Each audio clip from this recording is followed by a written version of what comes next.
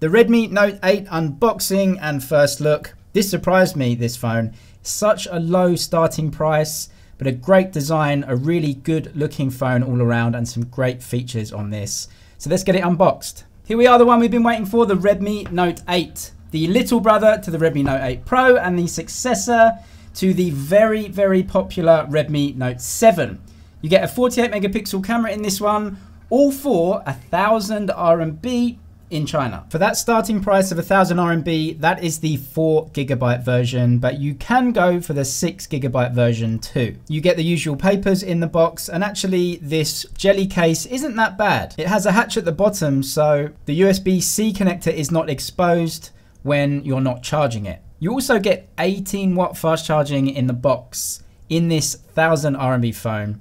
Well done, Redmi. I went for the white version and wow, this looks awesome, this phone. I've seen this design in a couple of other phones too, and it is without a doubt my favorite design of 2019. A color that goes from white to purple to blue. All in all, a really solid design all around. And you get that quad camera on the back here as well. A very solid phone and not very heavy considering that big battery. Wow, this is a really well put together phone. If you can see the back, it blends in to the sides really, really well.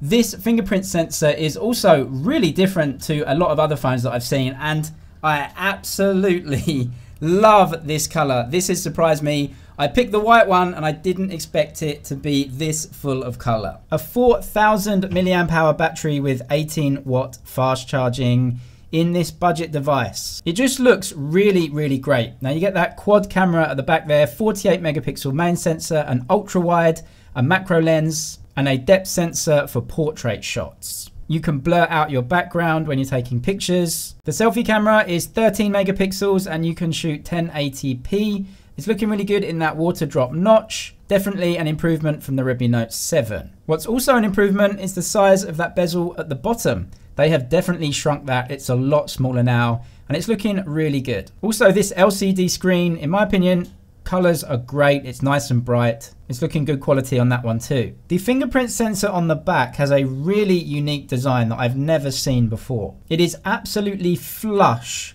with the back of the phone. It looks like it's a button or a tiny sticker. You get an on off switch on the right hand side with the volume rockers there and on the left hand side is the SIM card tray. This phone reminds me a little bit of the Vivo Z5 or outside of China it's called the Vivo Z1X a very similar color scheme and a very similar design all round. You get the mono speaker at the bottom with your USB-C and your headphone jack. The Snapdragon 665 is not a direct upgrade to the Snapdragon 660 like you find in the Redmi Note 7, but considering the price of this phone, I don't really expect anything more. Certainly a 700 series Snapdragon is just going to be too expensive for a phone like this. Having said that, for the starting price, you get a great list of specs. And for day-to-day -day use, the 665 is going to be plenty powerful enough. But you'll see just how powerful it is in a second when we get onto some PUBG. If you're in China, you do get this smart assistant if you swipe left and you get lots of different features. I don't know if that exists outside of China though. And to let you know how it charges, yes, there is an LED light. You can see it just left of the camera unit there. The bezels are much smaller than I remember on the Redmi Note 7. The screen is really great for browsing social media. It's a 1080p Full HD resolution screen. It is LCD, but if you might have been looking at the Xiaomi Mi A3 and were a little bit disappointed with the resolution of that screen, this might be a really good option for you, considering a lot of the other specs are similar too. Let's try out the fingerprint sensor and see how accurate it is. It really is a unique design on this fingerprint sensor at the back. Three, two, one, go. Okay, very good. Three, two, one, go. Yep, no problem. Three, two, one, go. This is the front selfie camera I'm filming on right now. If you want to see some more pictures of this phone and some pictures from this phone, go and follow my Instagram and my Twitter. You can interact with me and see some more stuff over there. Moving on to the camera here, because we have a Snapdragon 600 series, you're not going to get amazing pictures as you would out of a more expensive chipset. However, I was very pleased with the results. The colors are very poppy and very similar to what I see on a lot of other Xiaomi and Redmi phones. Anyway, let's get on to PUBG. And that Snapdragon chipset in here isn't capable of very high frame rates for PUBG. You can go up to the middle setting if you turn the resolution down. If you want high frame rates, you're gonna have to spend a little bit more money and go for the Redmi Note 8 Pro.